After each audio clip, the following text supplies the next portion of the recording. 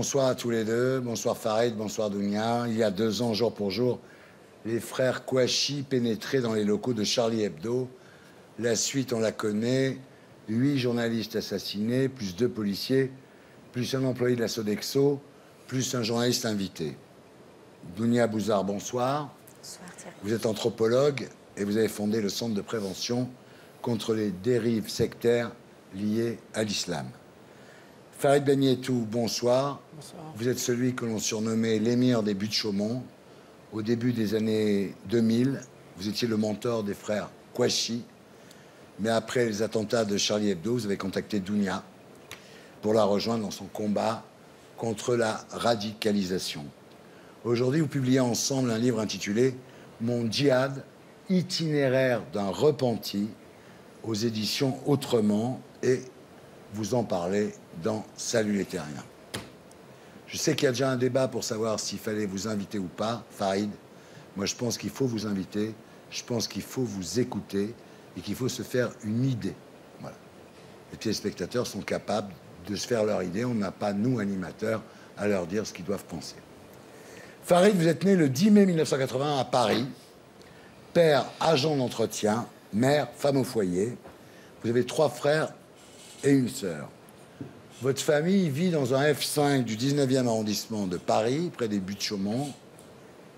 Et quand votre père découvre qu'il a été adopté, il se tourne vers la religion. Et là, vous vous rendez dans une mosquée pour prendre des cours d'arabe et pour assister à des conférences religieuses.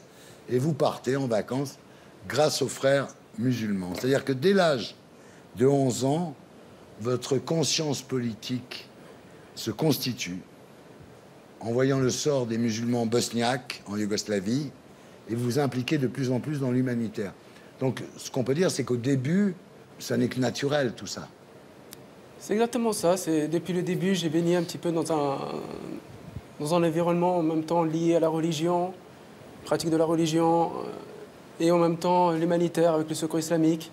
La cause bosniaque était très présente. C'est là où je découvre un petit peu le conflit, tout ce qui se passe là-bas. J'ai l'impression que personne ne fait rien. Et ça, ça me révolte. En 1994, après le décès de sa mère adoptive, votre père sombre dans l'alcoolisme. Et là, vous n'avez plus de figure paternelle. Et votre père devient même un modèle à fuir. Quand je perds mon père, je perds tous mes repères en fait. Et je cherche quelque chose. Et ces pères de substitution, vous les trouverez chez les frères musulmans. Dans un premier temps, chez les frères musulmans, avec euh, le secours islamique, avec une certaine pratique de la religion. Ça me plaît, je m'y, épanouis, mais j'ai besoin de quelque chose de plus. À 15 ans, vous découvrez la salafia. La salafia, donc, c'est vivre vraiment comme à l'époque du prophète, en respectant mot à mot les préceptes du prophète Mohammed. Vous portez le camis. Alors, le camis, c'est une longue chemise. hein. Dans le quartier, vous suscitez le respect à partir de là. C'est-à-dire que les gens vous, vous vénèrent d'une certaine façon parce que vous affirmez votre foi en l'islam. Euh, à partir du moment où j'adopte cette euh, tenue vestimentaire, euh, je- on, on- on m'attribue cette étiquette de quelqu'un de pieux, de, de religieux. Euh, je suscite l'admiration pour certains, alors que c'est une carapace, c'est une coquille vide. Mais ça, ils ne Ouais. le savent pas. Ouais.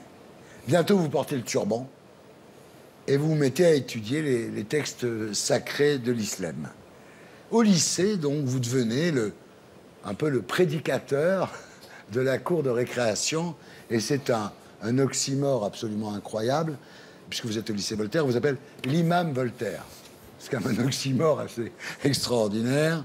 Là, vous conseillez aux filles de porter le voile et ça marche en fait. Vous sentez, euh, chez les jeunes musulmans qui sont là, un besoin d'identitaire en fait. Je sens que les gens sont attentifs à ce que je leur dis. Et moi, quelque part aussi, ça me, ça me, ça me, ça me conforte dans l'idée que euh, j'ai enfin trouvé un sens à ma vie. Ouais. Niveau scolaire, c'est plutôt le décrochage. Et là, je me dis, c'est ça que je vais faire. Je vais transmettre cette religion, en tout cas la manière dans laquelle je la concevais à ce moment-là. Je vais faire ça pendant ma vie. Et là, vous devenez le parfait salafiste. Vous dites, je percevais toute activité comme pouvant me détourner de Dieu. C'est-à-dire, je me sentais coupable rien que de penser à un loisir. C'est-à-dire que quand vous voyez quelqu'un qui fait une photo euh, dans la rue, vous vous détournez de ça. Quand vous voyez quelqu'un qui joue de la musique dans le métro, vous trouvez ça satanique. C'est l'angoisse permanente, en fait. C'est l'angoisse permanente de, de trahir sa religion. Quand je vois quelqu'un dans la, dans, dans la rue qui prend, la- qui, qui- qui prend des photos, des touristes par exemple, je change carrément de trottoir. J'ai pas envie Ouais. d'être euh, pris dans le cadre parce que j'ai l'impression qu'en le faisant ça, je suis complice. Et euh, c'est insoutenable, c'est un, Et bientôt, Farid, vous passez du salafisme au djihadisme. Jusque-là, vous demandiez à la religion de sauver votre âme. Et là, vous demandez à la religion de sauver le monde. C'est une autre chanson. Ça répond aux besoins que j'avais à ce moment-là. J'avais l'impression de ne pas avoir mon, mon rôle. euh, Je me projetais pas dans l'avenir. Scolairement, j'avais complètement décroché. Et là, non seulement on me parle de ces injustices qui m'avaient déjà touché depuis longtemps, et en plus, on me propose d'être acteur. Ouais. Et tout ça avec la religion. Ouais. Tout est imbriqué ensemble. C'est Vous exactement ce que je pensez à ce moment-là que vous avez trouvé votre voie, en fait. C'est ça. Ma vie a un sens. Les criminels deviennent un peu vos modèles, quoi. Je suis complètement dans le déni de tout ce qui se passe. La réalité, je ne veux pas la voir. Et c'est le discours que je veux avoir et que je vais tenir jusqu'au bout. Le 11 septembre 2001, vous ne voyez que l'aspect symbolique de l'attentat. Vous n'avez aucun état d'âme euh, pour les victimes. Ben Laden, à l'époque, est votre héros. Quand je découvre les attentats du 11 septembre, je ne vois pas du tout les personnes. Les êtres humains n'existent pas. L'idéologie djihadiste nous amène comme ça, petit à petit, au début avec une belle utopie, on va sauver le monde. De fil en aiguille, on arrive tous à ce, stade-là, celui de la déshumanisation. On ne voit plus les gens comme des êtres humains, mais comme des catégories. C'est des mécréants, c'est des ennemis, c'est des traîtres, c'est ceci, c'est cela, mais on ne voit pas l'être humain qu'il y a derrière. Et c'est comme ça, moi, que... Il n'y a plus aucune empathie pour l'être humain. Absolument aucune. L'année suivante, vous devenez Abu Abdallah et tous les jours vous donnez des cours dans un coin de la mosquée à l'abri des regards. Et bientôt, un nouveau groupe de jeunes vient vers vous et parmi eux, parmi ces jeunes, il y a les frères Kouachi. Shérif Kouachi. Lui, il veut être formé au djihad parce qu'il veut rejoindre l'Irak que les Américains s'apprêtent à envahir. Comment s'est passée votre première rencontre avec Shérif Kouachi? Bon, déjà d'emblée, je connaissais son projet de, se rendre en Irak et on m'avait demandé de, de le soutenir. Et c'est ce que j'ai fait. C'est ce que j'ai fait. Je l'ai soutenu dans ce projet. Je l'ai encouragé, j'ai essayé de le renforcer, de lui dire qu'il était sur la bonne voie, que sa démarche était tout à fait euh, noble. Et euh, c'est pour ça que j'ai été condamné par la suite. Shérif Kouachi a prévu de partir en Irak un matin de janvier 2005. Ce jour-là, à 6 heures du matin, les flics débarquent chez vous. Vous êtes arrêté. Après deux jours de garde à vue, vous avouez, oui, je suis bien celui qu'on appelle l'émir des buts de Chaumont. En prison, vous reprenez votre rôle de prédicateur, vous faites des appels à la prière depuis la fenêtre et vous conduisez les célébrations de l'Aïd. Ce prosélytisme décide l'administration de vous transférer à Fresnes. Trois ans plus tard, Farid arrive votre procès, vous êtes condamné à six ans de prison, vous n'en ferez que quatre. Vous avez été arrêté sous Perben et libéré sous Rachida Dati, pas sous Taubira, comme quoi. Alors, à la sortie de prison, on peut penser que vous allez retrouver vos parents, votre famille, etc. Mais avant d'aller voir votre famille, avant d'aller voir vos parents, vous allez voir d'autres djihadistes. Vous dites, je me suis empressé de retrouver les djihadistes avant la famille, Farid. C'était ma famille. Ouais. Les djihadistes, c'était la famille que j'avais choisie. C'était avec eux que je me sentais en sécurité, c'était avec eux que je me sentais bien. C'était mes repères. J'avais besoin de les voir, c'était euh, comme une addiction. Je m'étais promis de plus les voir, de tourner la page. Le premier réflexe, ça a été de les voir eux en premier. Mais enfin, désormais, vous avez quand même des doutes. Vous devenez élève infirmier. Vous avez une bourse. La France vous donne une bourse pour vous rédimer. En mars 2012, la France découvre les assassinats de Mohamed Merah. Vous vous sentez coupable quand vous apprenez ça, vous êtes paniqué, vous mangez plus, vous dormez plus. Vous vous dites quand même derrière les idées que je professe, il y a des morts. Mohamed Merah, ça va être, j'aime pas le mot, mais ça va être vraiment le déclic. Ouais. Mohamed Merah, un peu comme tout le monde, j'ai vu d'abord les morts. Et des morts à qui je vais m'identifier très rapidement. des gens d'origine maghrébine. Je vois même pas l'uniforme, c'est des militaires, mais ça je le vois même pas. Je vois d'abord les êtres humains. Ce qui leur est arrivé, ça aurait pu m'arriver à moi en fin de compte. Je me dis que celui qui a fait ça, c'est quelqu'un, c'est un raciste, et voilà, il aurait pu s'en prendre à moi comme, à eux, c'est la même chose. Et le jour où je découvre qui a fait ça, et qu'il l'a fait au nom de cette idéologie que j'ai défendue, que j'ai soutenue pendant toutes ces années, bah là, je suis prêt au piège. Je suis prêt au piège parce qu'avant, j'avais ce réflexe, moi, toujours, d'aller, de mettre les gens dans des catégories. Là, ça aurait été très facile, c'était des militaires. Mais je les avais déjà vus comme des êtres humains. Là, j'étais pris au piège, là, tout s'est effondré. Voilà. Alors là, vous continuez vos études d'infirmier et vous progressez, vous acceptez de mettre des patchs sur le torse de femmes nues. Vous acceptez de vous raser la barbe parce que vous, on vous dit bon, ça fait mauvais genre à l'hôpital. En fait, à partir de là, Farid, vous n'avez plus peur de l'enfer, c'est ça? J'ai plus cette angoisse, cette angoisse permanente euh, dans laquelle j'ai baigné pendant toutes ces années. Le seul avec qui vous gardez contact, c'est Shérif Kouachi. Alors, ce qu'on ne sait pas, c'est veut-il vous ramener dans le droit chemin? Est-ce qu'il est envoyé pour ça par les djihadistes? Ou au contraire, veut-il vous parler de ses tendances pédophiles Parce que la police a découvert sur l'ordinateur de Kouachi qu'il avait des tendances pédophiles. Il avait Ah, un problème avec ça. Ah, Il était attiré par les enfants. Moi, par la suite, j'ai eu beaucoup de doutes parce que je sais que quand on allait visiter une personne, euh, il y avait sa, sa fille qui était présente, qui avait à peu près 7-8 ans. Il demandait qu'elle soit, pas, qu'elle Ah soit plus présente parce qu'elle commençait à être euh, une femme. Ouais. Vous voyez Sheriff Kouachi, pour la dernière fois en novembre 2014, il a doublé de volume, il est bourré de protéines, il est gonflé par la muscu et omnibilé par, par Daesh. Le 7 janvier 2015, vous découvrez que Shérif et Saïd Kouachi sont les auteurs du massacre de Charlie Hebdo et ils ont, disent-ils, vengé le prophète. Alors, vous avez su lui transmettre le djihad en 2004, mais vous n'avez pas su lui enlever l'idée du djihad dix ans plus tard, en fait. C'est ça qui m'angoisse, Vous êtes co-responsable.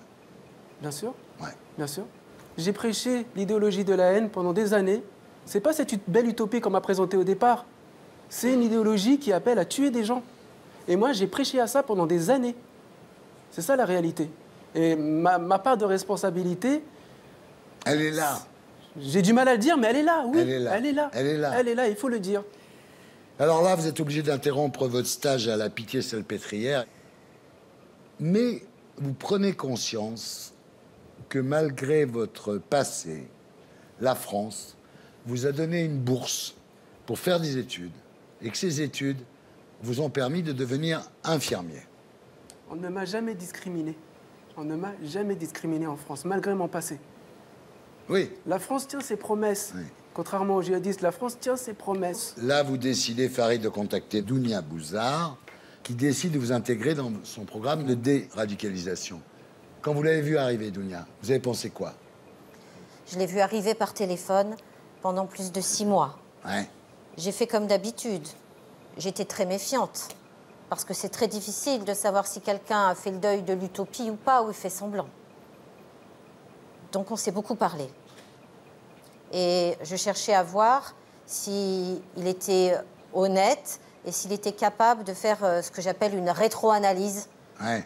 pourquoi j'y croyais, s'il assumait ses responsabilités, s'il savait expliquer pourquoi. Ça a duré des nuits, des nuits et des nuits. Évidemment, dans ces cas-là, soit on a confiance, soit on pense qu'il fait de la taquia.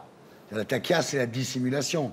C'est-à-dire que Farid, aujourd'hui, qui nous parle, en fait, il nous parle pour se rédimer, mais au fond, dans sa tête, il a toujours l'idée du djihad, il va le refaire. C'est ça la taquia. Je lui ai fait confiance à partir du moment où il m'a donné des secrets du djihadisme. Là, vous avez eu la conviction qu'en fait, il n'était pas dans la taquia. Quand il m'a donné des secrets, oui, Alors, Patrick Pelou a dit dans le Figaro, Farid, c'est comme si on demandait à une marque de cigarettes de se charger de campagne anti-tabac. Je comprends, Patrick Pelou, je, comprends qu'on soit dans l'émotion. Mais moi, mon travail, c'est d'avancer. C'est de travailler pour lutter contre cette idéologie. Et je ne peux pas me passer d'outils, euh, parce que même si je continue à pleurer, on doit être fort, on doit se battre et on doit mieux comprendre les fils invisibles pour les combattre. Parce que ce n'est pas qu'une guerre Daesh. Ils, ils détruisent aussi nos repères émotionnels, nos repères civilisationnels. Il faut rentrer dans leur univers. Qui a vu les djihadistes leur vrai visage, qui les a vus dans les yeux pour bien nous montrer les fils invisibles? Ce sont les repentis. Il vous a aidé à sauver des gens du, du djihad? À lui tout seul, le, le peu de temps où il a été bénévole, il a sauvé une trentaine de jeunes qui étaient des jeunes qui étaient en train de faire leur ceinture, qui étaient des jeunes très impliqués. C'est pour ça que dès que j'ai arrêté avec euh, la mission ministérielle et que j'ai refusé euh, la reconduction, hein, puisque j'ai été missionnée un an par le ministère de l'Intérieur, immédiatement, euh, je lui ai demandé de s'impliquer avec nous pour en sauver d'autres, parce que j'ai vu qu'il était efficace et qu'il savait leur mettre le doute. Vous enlevez quelqu'un de l'idéologie djihadiste quand vous montrez le vrai visage des Il djihadistes. travaille avec vous, pourquoi il ne travaille pas avec la DGSI Il serait aux États-Unis, la CIA l'aurait embauché depuis ce que je longtemps. pense. Mais oui, mais même au Maroc, même en Italie, pourquoi faut-il toujours qu'en France, on soit en retard? Pourquoi va-t-il falloir qu'on mette en place ces programmes que dans cinq ans? Parce qu'on y viendra. Alors, est-ce que c'est une bonne idée de sortir ce livre au moment de l'anniversaire des attentats de Charlie Hebdo d'Ounia? On s'est dit, on va redonner de l'espoir aux gens. On va leur dire que on peut, on peut se défendre. On veut plus. euh, on a 300 morts tous sur la conscience ensemble, oui. et on ne veut plus de ça. Et là, finalement, ça tombe au moment de cet anniversaire. Mais on veut dire aux gens, c'est possible d'en sortir. Et en se donnant tous la main, policiers et tous, on s'en sortira. Farid, dernière question. Est-ce que vous êtes Charlie? Bien sûr que je suis Charlie. Voilà, c'était Salut les terriens.